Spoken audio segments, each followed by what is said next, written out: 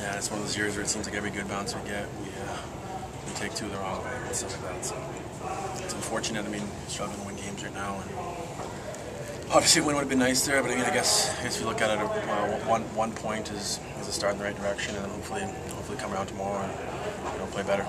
Can you talk a little bit about the first period? I mean, you guys had 14 shots on before Milwaukee managed one themselves. I mean, yeah, I mean, we've been talking about we had some rough first periods and not the best starts and stuff like that. So we came out, we played hard off the bat. We had lots of chances. You know, we didn't, score, but we had a bunch of chances, and then a couple couple costly turnovers for us. You know what I mean? He left Besco out to dry there, and his first two shots of the game. You know, you don't, you don't want to see your first two shots from, from point blank like that. And, you know, we didn't do our job in uh, making his in, making his life any easier today. Especially you know, guys playing well. You know, we gotta you know, help him out early on. You know, especially get him let him feel the puck, and we, we didn't do that. And, we got, we got behind the eight ball and we were able to come back.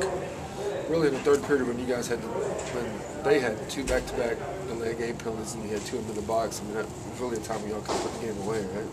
Yeah, I mean, we definitely needed some more urgency there. We uh, were trying to make the fancy play, myself included, and we, uh, we, didn't, we didn't execute it, didn't uh, didn't score what we needed to. I mean, some pucks, some rebounds, and stuff like that. Not one, and you know, it's a, it's a different game right there, and we kind of shot ourselves in the foot a bit there with that, with that opportunity, and it came back to, to bite us in the end.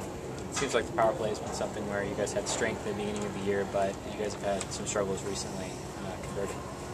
Yeah, I mean, at the beginning of the year, our power play was on fire, and our PK was, uh, pretty bad. Now it's now it's you know, vice versa. Our PK is doing really well. You know, not giving a lot of not giving a lot of uh, short uh, when we're short-handed, but our power play is not uh, not converting. I mean, we're getting chances, we're getting shots and stuff like that, and that's kind of where, where you got to start from. You know, we definitely need to start burying them. Burying them. I mean, we got we got one power play goal today, but I think we had what, seven or eight chances and one for eight. I mean, it's not it's not good enough for me to make that this this close because you know that, that can be the difference maker right there.